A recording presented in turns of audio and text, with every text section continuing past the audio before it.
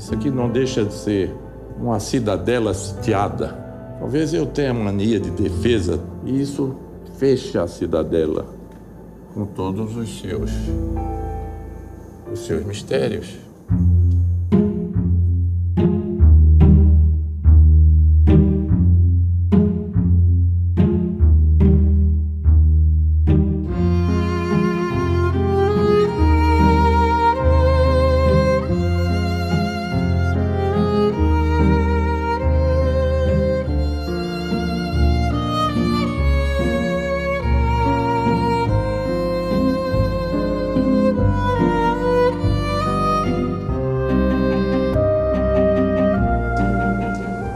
Eu passei 15 anos trabalhando aqui, não tinha janela nenhuma, eu trabalhava sempre com luz artificial.